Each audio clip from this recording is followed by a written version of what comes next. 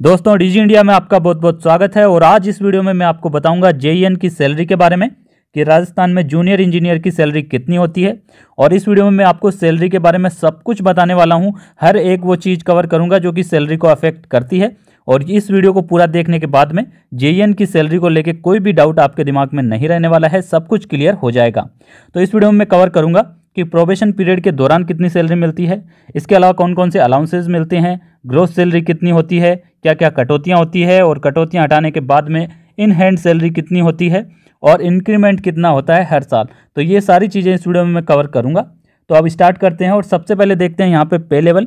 तो junior engineer को राजस्थान में पे लेवल के लेवल दस में रखा गया है, एज पर सेवन्थ पे कमीशन और सिक्स पे कमीशन की अगर बात करें तो ग्रेड पे छत्तीस की होती है जूनियर इंजीनियर की, जिसको कनिष्ठ अभियंता भी कहा जाता है। अब बात करेंगे प्रोबेशन पीरियड के दौरान की। तो प्रोबेशन पीरियड दो साल का होता है और इस पीरियड के दौरान आपको फिक्स सैलरी मिलती है, कोई भी अलाउंस नहीं दिया जाता है, ठीक है?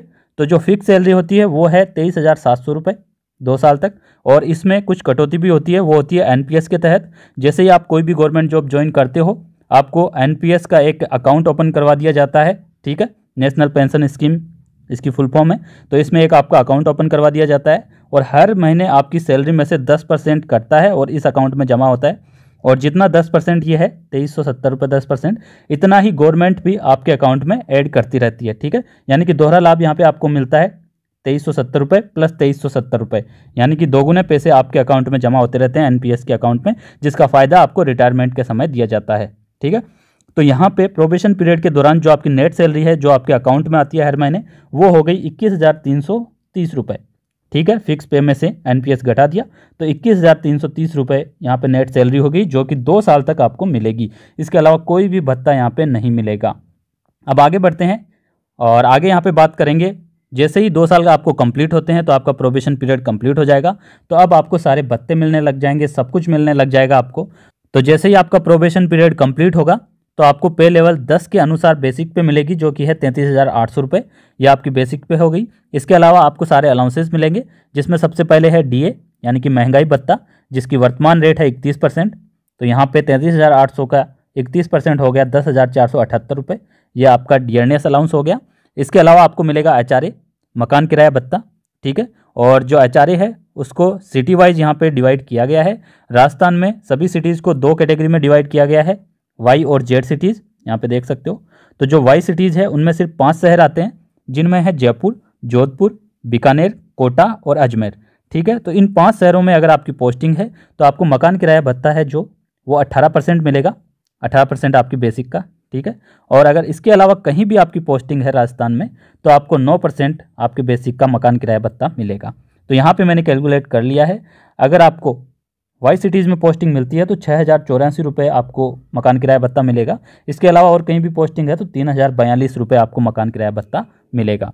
तो अब जो आपकी टोटल सैलरी हो जाएगी, ये सारे अलाउंसेज जोड़ देने पर तो जो ग्रोथ सैलरी आपकी है, वो हो गई सैंतालीस हज़ार तीन सौ बीस रुपये जेड सिटीज़ के लिए। और अगर आपकी पोस्टिंग जो पाँच शहर है वाई सिटीज़ जो है राजस्थान में, उनमें है तो आपकी सैलरी हो जाएगी पचास हज़ार तीन सौ बासठ रुपये ठीक है?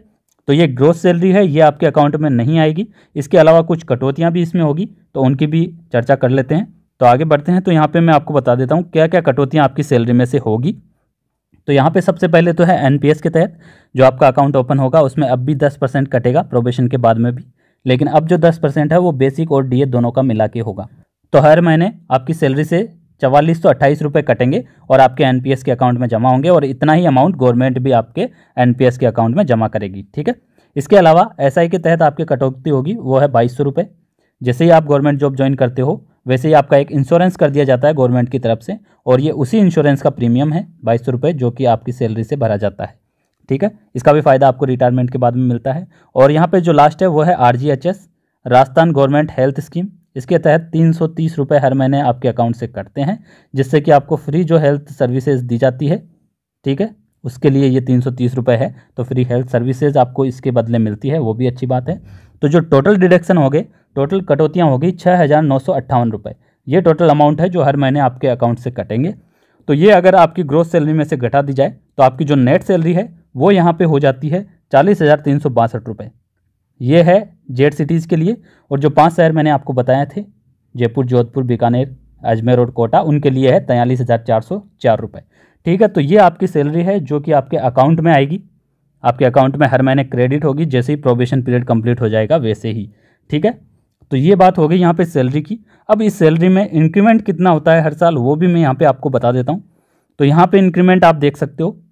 हर साल आपके बेसिक में इंक्रीमेंट होता है तीन परसेंट का। स्टार्टिंग में जैसे ही आपका प्रोबेशन पीरियड कंप्लीट होगा, तैंतीस हज़ार आठ सौ रुपये आपकी बेसिक पे होगी, जो कि अगले साल बढ़ के ये हो जाएगी चौंतीस हज़ार आठ सौ रुपये और उससे अगले साल हो जाएगी पैंतीस हज़ार आठ सौ रुपये। इस प्रकार से ये बढ़ती रहेगी। इसके बाद होगी ये छत्तीस हज़ार नौ सौ रुपये। इस प्रकार ये बढ़ती रहती है। इसके अलावा जो डीए आपको मिलता है, महँगाई भत्ता, उसमें भी हर साल दो बार इंक्रीमेंट होता है, जो कि होता है एक बार जनवरी में और दूसरी बार होता है जुलाई में। तो ये भी अभी रेशो लगभग लगभग तीन और चार परसेंट का चल रहा है। कभी तीन परसेंट बढ़ जाता है, कभी चार परसेंट बढ़ जाता है वर्तमान में। तो जो टोटल इंक्रीमेंट हर साल आपकी सैलरी में देखने को मिलेगा, वो लगभग लगभग दस परसेंट का होगा। तो दस परसेंट आपकी सैलरी में इजाफा आपको देखने को मिलेगा। यानी कि जो मैंने आपको नेट सैलरी अभी बताई है, ये जो सैलरी है, वो मिनिमम सैलरी है जो कि आपको मिलनी ही है वर्तमान में।